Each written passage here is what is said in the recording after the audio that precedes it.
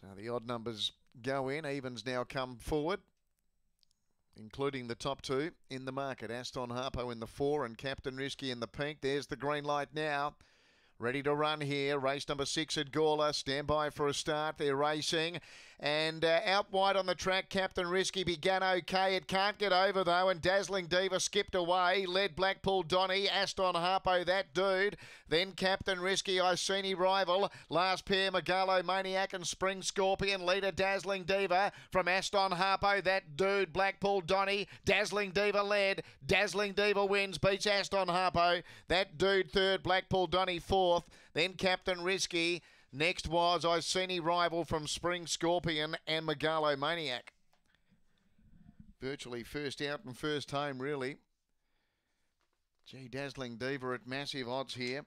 Number three.